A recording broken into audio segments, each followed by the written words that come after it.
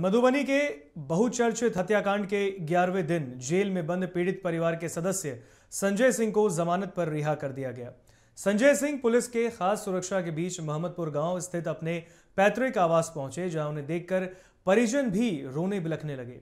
इस दौरान मौके पर औरंगाबाद के सांसद सुशील कुमार सिंह और एमएलसी सुमन महासेठ भी मौजूद रहे।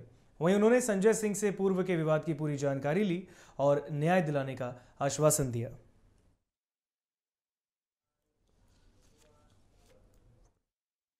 कोरोना संक्रमण के कारण राज्य भर में सभी स्कूल, कॉलेज और कोचिंग संस्थान 11 अप्रैल तक के लिए बंद करा दिए गए हैं। सरकार के इस निर्णय के बाद अब राज्य के अलग अलग जिलों में इसका विरोध होने लगा है।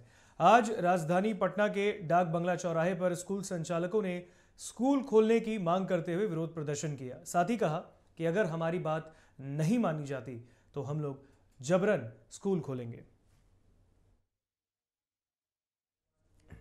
और कोरोना वायरस के बढ़ते संक्रमण को देखते हुए बिहार में सभी शिक्षण संस्थानों को 11 अप्रैल तक के लिए बंद कर दिया गया है, जिसके विरोध में शेखपुरा में भी प्राइवेट स्कूल और चिल्ड्रन वेलफेयर एसोसिएशन ने सड़क पर उतरकर सरकार के प्रति विरोध प्रदर्शन किया।